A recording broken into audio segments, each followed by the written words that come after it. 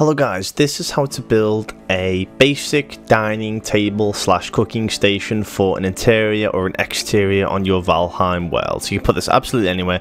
It's probably better outside uh, if anything. So let's just start this off straight away by putting two uh, stone slabs like so. I'm going to rim it with a total of six wooden planks all the way around like that.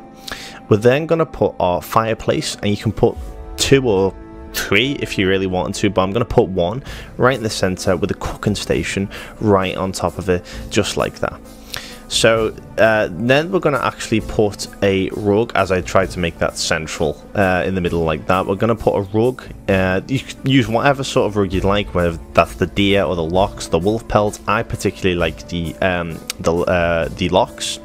So I want to put it right in the center. So I jump on top of this and I try to put it right in the center like that and I get that bang on right there. So that's already quite an interesting design. I've not seen too many people do that, so that's why I've like been do, uh, like to do lately. I next put the uh, I put four um, small core woods on either side of this dining table like so like so and then I also then put the larger uh, core woods uh, logs on either side with uh, two additional smaller core woods uh, to rim the rest of the frame for this dining table. Next I want to add black banners. Now I add black banners to pretty much most of my interior decorating um, hardware almost. Uh, I put it absolutely everywhere. It's almost like a frame or a unique pattern to a frame, or maybe even like somewhere to lean, like an armrest, something like that for this dining table. Next, you want to get some four, spot four um, of the smaller posts of the wooden posts on each of the uh, four core wood posts, like so. And to make it blend in a little better, we're going to put these item frames uh, four around one post.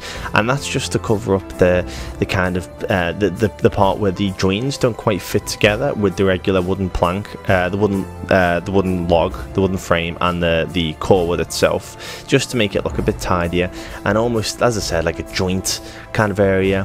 Whereas you know you'd put nails or something like that. As I said, just makes it look a lot tidier, and uh, you know it's another reason to use these item frames they're quite useful in Valheim and you can hide a lot of ugly areas on any builds really, as well as the and Teal. So after I've put them on, I'm actually going to put the item frames on the top of the posts, which is where we're going to put some shields. Now you can use any type of shield you like.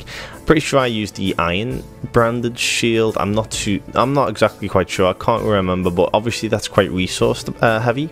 So you could just use your regular wooden shield or anything you like really. It depends if you're doing this in the debug mode or if you're doing this in survival. I'm doing it in debug mode, so it doesn't really matter what resource I use anyway. Just makes it look a little bit nicer um, I think it looks a bit more aesthetically pleasing and uh, it suits the build. You know, small parts of iron, small parts of metal in a build can really kind of accentuate some of the features on the build. So after I've done that, I'm going to put four more small wooden posts on top of the shields, which is going to act as the, well, in part with the roof. And I'm going to put some uh, wooden planks going across just like this, just to connect all the way around. And what I'm going to do here basically is build a small roof.